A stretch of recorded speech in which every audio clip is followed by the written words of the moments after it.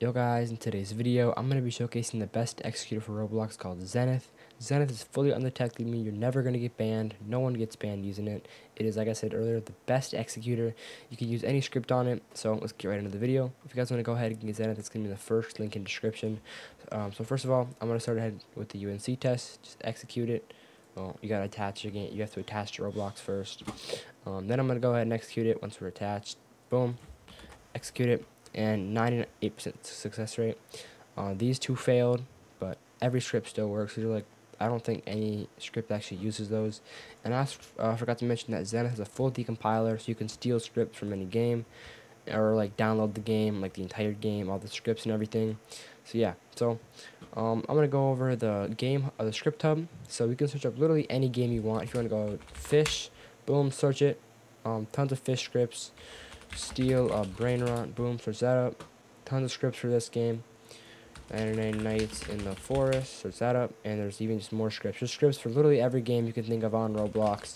Um, because it, it's on the ScriptBlox API, which everyone puts their scripts on there. So pretty much, if you want to get a script, you could go to the Zenith Script Hub and get as many scripts as you want. And there's so there's always new ones every like 10 minutes. Look, if you look in the Script Hub, 14 minutes, 16 minutes. They're always being uploaded. So also it's a full function function documentation if you want to learn how to like code or just more about Zenith. It's all in here, so you can see it's got every single function, how to use it, and everything. So yeah, super super nice. Now let's go back to the actual execution, and I'm gonna run infinite yield. You can see it loads up right away. Set my walk speed. Boom. Um, set it back. You can fly, obviously.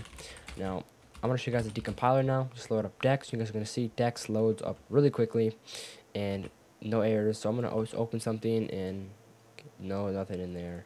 So we'll animate. Um, you can see it decompiles all the code. And this is just one singular like piece of code. Literally every piece of code is going to be decompiled, especially when you um, when you actually just download the game, like um, using save instance. It downloads everything all the like all the code, everything. So, yeah, obviously there's not too much in baseplate because there's really nothing in here besides like the Roblox code. But I'm gonna actually show you guys remote spy with infinite yield, loads of instantly. Like I said, there's kind of no code in baseplate, but infinite yield, Dex, remote spy kind of just shows some of the good features on Zen or the how good Zenith is. But if you guys want to try it out for yourself, like I said, it's gonna be in the first link in description. You go get Zenith for a week or a month and I really recommend it. It's the best executor. I've been using it for a long time now. So yeah, hope you, hope you guys have a good day, good Saturday, or a good night, and see ya.